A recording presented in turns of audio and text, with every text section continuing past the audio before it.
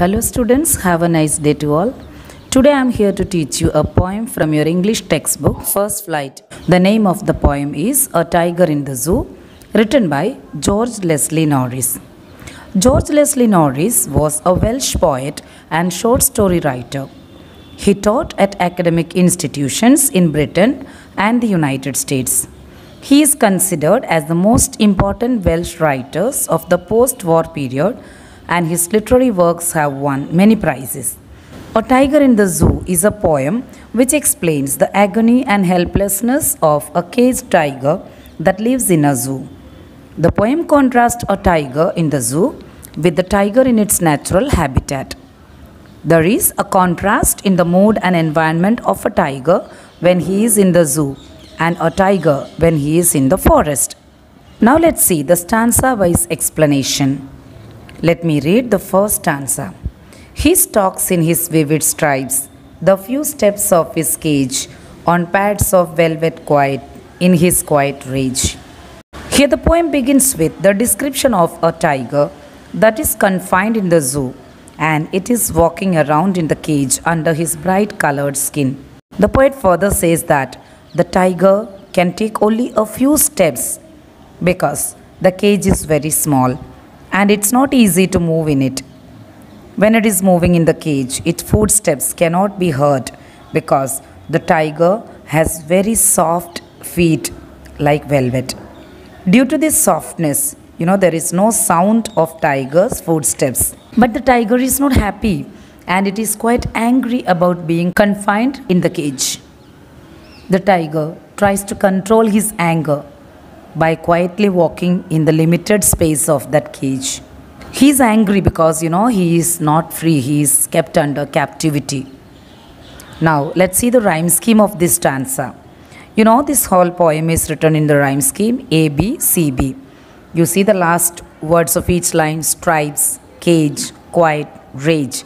Okay, so stripes you have to mark as A, cage B, quiet is not rhyming with these two, so it will be C, and then again rage. Rage is rhyming with cage, so there we have to mark B. So the rhyme scheme is A, B, C, B. So all these stanzas are written in the same pattern. The word meanings of this stanza stalks means walks with pride, vivid means bright color, pad fleshy paws of tiger, and rage means anger. Now let's look into the second stanza. He should be lurking in shadow, sliding through long grass near the water hole where plum deer pass. In this stanza, the poet is taking us into an atmosphere of a forest where the tiger was free. The poet imagines here that if the tiger was not confined to the cage, then he would have been hiding himself behind long grass near some water body so that he could easily catch a deer in order to have it as its food. Basically, the poet wants to say that the tiger is supposed to live in a jungle where he could catch its prey and eat. He has freedom in the forest, whereas he cannot do so in a cage. Here, indirectly, the poet is also saying that we have no right to snatch away the freedom of these wild animals.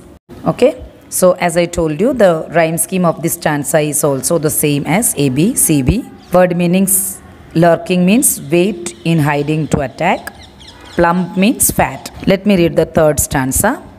He should be snarling around houses at the jungle's edge, baring his white fangs, his claws, terrorizing the village.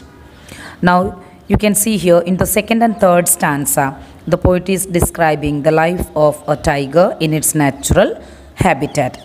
So, in this stanza also, the poet is saying that if the tiger would have been free, he would have been growling around the houses and he would have terrorized the people in the villages around the forest area. You know, this would create fear among the people living in the villages by showing his sharp teeth and claws. Thus, the tiger would become a cause of terror for the villagers. Here also, the poet is indirectly telling us that if we destroy the natural habitat of wild animals, they will be forced to enter into our residential areas in order to find their food. Word meanings used in this stanza snarling means growling, baring uncovered, fangs, teeth of tiger, claws, nails, Terrorizing means frightening the people. Now, fourth stanza. But he is locked in a concrete cell, his strength behind bars, stalking the length of his cage, ignoring visitors. In this stanza, the poet takes us back to the reality of tiger's life in a cage in the zoo. The poet sees the tiger caged in a small concrete cell, which is made of strong building materials. Tiger is a very strong animal, but you know, now in this cage, the tiger's strength is also kept behind the bars. He just walks in the cage and he also does not terrorize the people who comes to the zoo because you know why his power is restricted by the cage. He is powerful no doubt, but you know he cannot attack the people as he is locked in the cage. So he is quietly walking in the cage without paying any attention on the visitors. Word meanings concrete. Concrete means building made of bricks, cement, sand, and water. Ignore means avoid. Now the concluding stanza. He hears the last voice at night, the patrolling cars, and stares with his brilliant eyes at the brilliant stars. In this concluding stanza, the poet says that the tiger hears the sound of the patrolling cars in the night. Patrolling cars are the vehicles of guards, yeah, vehicles of police who are used to keep a vigil at night. So even at night also, the tiger is disturbed in the zoo by the sound of patrolling cars. Therefore, he stares at the shining stars with his shining eyes. The poet wants to say that the tiger is sad as he is confined in the cage. So, he cannot do anything. Therefore, he stares at the stars in the sky at night and tries to divert his thoughts towards the stars in the sky. By looking at the stars, the tiger hoped to be with nature someday. Word meanings of this stanza patrolling means to guard, yeah, to vigil. Stares means looks. Now, what is the moral of this poem? The moral of this poem is that just like human beings, animals also long for freedom and do not like being caged. So, we should allow this wildlife to live in their natural habitat. Now, let's see some of the important poetic devices used in this poem stanza wise. First stanza personification, alliteration, metaphor, transferred epithet, and oxymoron. These devices are used in the first stanza. Here, first line, he stalks in his vivid stripes. Here, the tiger is personified as a human. That's why the poet has used the word he. So, there is personification. Then, stalks and stripes. In these two words, the consonant sound, the first letter, you see, consonant sound is repeated. Okay, so that is alliteration. Then metaphor. Metaphor means indirect comparison. Okay, when indirect comparison is made between two different objects, that is called metaphor. Here the tiger's paw is compared to soft velvet cloth. Point of comparison is that both are soft. Transferred epithet. So transferred epithet means when an adjective is transferred from one noun to other noun when both are closely related. Okay, here the tiger is quiet, but that quiet adjective is transferred from the tiger to another word that is rage. So we can say here transferred epithet is one device used by the poet. Then last line itself, oxymoron. Quiet and rage are two opposite words. When two opposite words are used together, that is called oxymoron. So oxymoron is a special type of antithesis where two opposite words are used together. Then stanza 2, you can see alliteration and internal rhyme are used in this stanza. First line and the last line, examples of alliteration. Should and shadow, sure sound is repeated. Plump and pass, okay, per sound is consonant sound, per is repeated. So that is alliteration.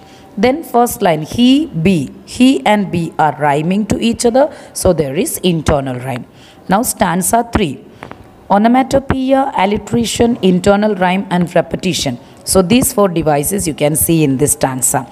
So onomatopoeia means what? When a word itself is suggesting sound. Here snarling. Snarling is the sound, growling sound of the tiger. Okay. So that is onomatopoeia.